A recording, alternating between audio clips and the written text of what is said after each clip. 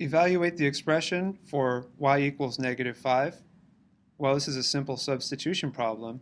And what you do is instead of this y, you write a negative 5. So it's just going to be negative 5, and I'm going to put parentheses around it because the negative goes with the 5. See, it's y equals negative 5, so I put parentheses around the negative 5 to show it's all together. And then minus 6.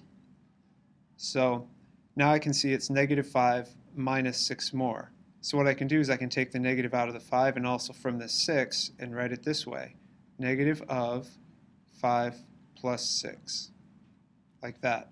And if you wanted to, you could have put, because this negative 6 has a greater magnitude, you could have put that one first, in which case you would have done this. You would have gotten negative 6 and then minus 5, like that.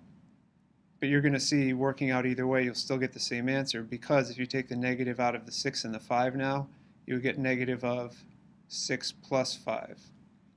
So negative of 5 plus 6 is negative of 11, and the negative of 6 plus 5 is also the negative of 11.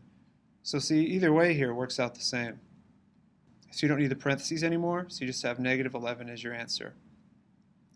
Now I'm not going to continue to show many representations for the subtraction. But you, again, you can still use a number line.